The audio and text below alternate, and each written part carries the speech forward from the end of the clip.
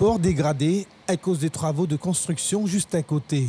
Nous sommes en avril 2012. Selon les explications d'un technicien, les remblais réalisés aux abords du chantier ont gonflé avec les pluies et ont abîmé la chaussée.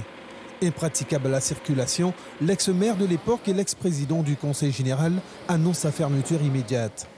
Sept ans plus tard, les habitants agacés par la fermeture de cette voie stratégique sont toujours dans l'espoir de voir cette rue réhabilitée. Ça traîne, ça traîne et puis c'est pas bon pour, pour les voitures puisqu'il faut faire combien de détours, tout ça. Et normalement, c'était la bonne route pour passer ici. Là, si on doit travailler, on doit faire le tour pour intervenir sur les, euh, sur les clients qui sont tout près. Donc c'est un peu difficile pour nous parce qu'on fait plusieurs euh, kilomètres juste pour intervenir à deux, à deux pas d'ici. S'il là été ouverte pour aller à Super U, pour aller à droite, c'était plus facile. Mais là, on est tout le temps bloqué, tu ne peux pas utiliser la route. Et quand il y a des, des bouchons là-bas, ben, on est bloqué. Moi, je suis pas mené, je suis avec mon vélo. Je peux passer, mais eux, qui ont la voiture qui veut aller vite pour poser leurs enfants à l'école, c'est un problème pour eux là. Et ça, ça, dure depuis longtemps et là, on a marre. Les problématiques de cette voie engendrent d'autres complications de circulation. Cette fermeture de cette route euh, génère des problématiques telles que l'insécurité, allongement euh, d'arrivée des, secours, euh, engorgement de la rue Joseph Symphorien.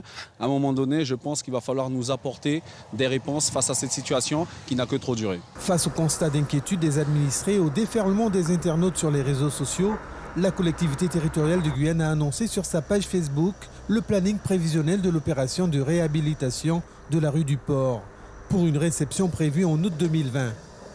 Le collectif qui avait interpellé plusieurs fois les autorités compétentes déplore la défaillance de communication aux habitants qui n'a que trop duré. Aujourd'hui, le collectif des Iguanes de l'Ouest a interpellé le président de la CTG depuis euh, euh, avril 2017. Ensuite, par voie de courrier en décembre 2018. Et aujourd'hui, euh, le président nous répond via les réseaux sociaux, principalement Facebook.